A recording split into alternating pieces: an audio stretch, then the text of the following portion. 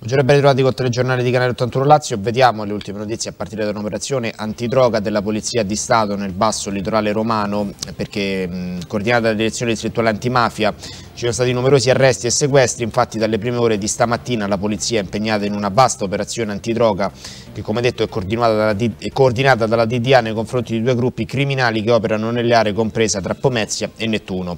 Sono in corso di esecuzione numerose misure cautelari, personali e reali. Tutti i dettagli avverranno appunto nei prossimi edizioni del telegiornale.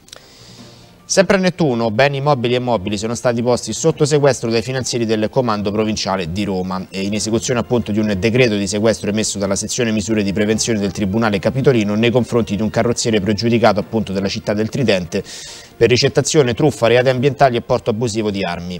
Il provvedimento ha riguardato 18 autovetture, fra le quali alcune di grossa cilindrata e d'epoca, un appartamento e tre terreni, un natante, sette polizze vite e le quote della società a cui è riconducibile l'attività di autocarrozzeria.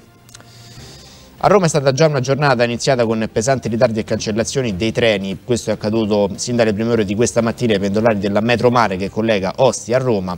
I tempi d'attesa dei convogli sono arrivati oltre i 30 minuti, i pendolari al momento sono delusi e sul piede di guerra. Sempre nella capitale, eh, la proposta di creare delle aule studio arrivata dall'assessore alla cultura Michele Gotorred è stata approvata in giunta di recente. Le aule studio verranno inserite nel sistema bibliotecario di Roma Capitale e permetteranno a studentesse e studenti romani di accedere a spazi pubblici anche di sera e nei giorni di festa. La rete sarà composta da spazi di Roma Capitale ma anche di soggetti terzi. A Sabaudia il sindaco Alberto Mosca ha deciso di prorogare le concessioni balneari fino al 31 dicembre 2024.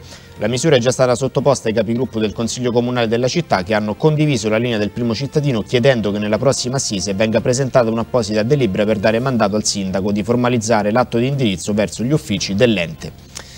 Con questa notizia chiudiamo il telegiornale di Canale 81 Lazio, grazie per averci seguito e vi diamo appuntamento ai prossimi notiziari.